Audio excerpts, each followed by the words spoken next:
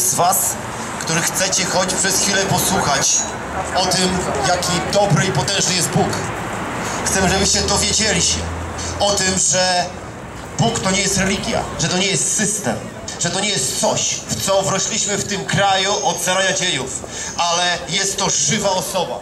Nazywam się Artur Ceroński i miałem osobiście wielką przyjemność spotkać Boga w 2001 roku, kiedy siedziałem w więziennej celi. Kiedy byłem człowiekiem przez ten system skazanym na absolutną porażkę. Kiedy wszyscy sędziowie w tym mieście posadzili na mnie krzyżyk. Wtedy na kolanach więziennej celi zaufałem Jezusowi Chrystusowi. I ja chcę, żebyś dzisiaj się dowiedział o tym, że ten wielki, potężny Bóg, Pan Panów i Król Królów, ten, który umarł za moje i Twoje grzechy, ten, który realnie wstał z martwych, ten, który był, ciągle ten sam, On dzisiaj mówi do Ciebie, przyjdź do mnie, a Twoje życie ulegnie zmianie. Przyjaciele, to co się dzieje wokół nas, to jest jeden wielki syf. Z każdego systemu wychodzi jeden wielki syf, ale to, co Bóg mówi dziś do Ciebie, to jest to, że istnieje nowe życie, nowa perspektywa. Przyjaciele, każdy człowiek potrzebuje zbawienia. Słowo Boże mówi, że wszyscy zgrzeszyli i brak im chwały Bożej, ale są usprawiedliwieni za darmo, za darmo. Ewangelia to jest coś, co jest dla każdego za darmo. Nie trzeba na to zasłużyć, nie trzeba tego wybłagać, nie trzeba za to zapłacić. Wystarczy, że przyjmie się tą prostą rzecz, tą prostą informację, że dwa tysiące lat temu na krzyżu Golgoty Jezus Chrystus, potężny Boży Syn, umarł za moje i Twoje grzechy. I to jest dla każdego człowieka. To jest dla każdego człowieka. Ludzie, ja mając 17 lat zamordowałem człowieka.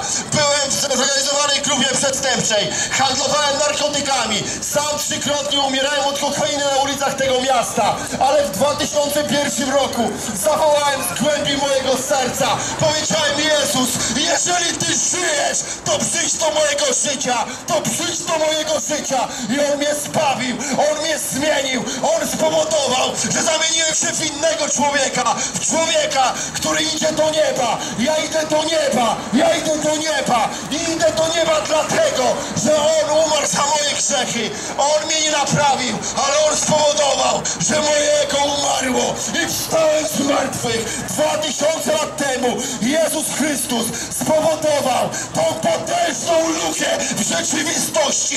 I dzisiaj każdy, ja mówię każdy, kto w Niego wierzy, nie zginie, ale będzie miał życie wieczne. Jeżeli uwierzysz tej prostej Ewangelii, jeżeli uwierzysz temu prostemu słowu, to Twoje życie się zmieni. Ja nie mówię Tobie o żadnej religii. Ja nie mówię Tobie o przekonaniach. Ja mówię Tobie o osobistym doświadczeniu. Ludzie, ludzie, na tej ziemi my potrzebujemy osobistego doświadczenia Boga. Kiedy Jezus tutaj chodził, kiedy dwa tysiące lat temu On chodził po ulicach Jerozolimy, przyszedł do Niego kiedyś bardzo porządny, dobry Żyd. Miał na imię Nikodem. Był dobry, poukładany, miał wszystko elegancko w życiu. Przyszedł do Jezusa w nocy, bo Jezus był rewolucjonistą. I tenże Żyd powiedział do Niego, Panie, my wiemy, że wszedłeś z nieba, ale Jezus nie poklepał go po plecach. Jezus powiedział do niego, Nikodemie, jeżeli nie narodzisz się na nowo, nie możesz ujrzeć Królestwa Bożego. Ja wam możesz ujrzeć Królestwa Bożego. Nie pomogą ci sakramenty, nie pomoże ci przynależność, nie pomoże ci nic, ale wystarczy mała wiary. Wystarczy, że tą kroplą wiary sięgniecie po łaskę. Łaska jest dzisiaj dla ciebie dostępna. Weź dzisiaj to, co Bóg dla ciebie ma. Weź dzisiaj to, co Bóg dla Ciebie ma. Jeżeli posłuchasz tego, o czym mówimy, jeżeli wysłuchasz tych świadectw, to Twoje życie może ulec zmianie. Przyjdź dzisiaj i weź swój cud.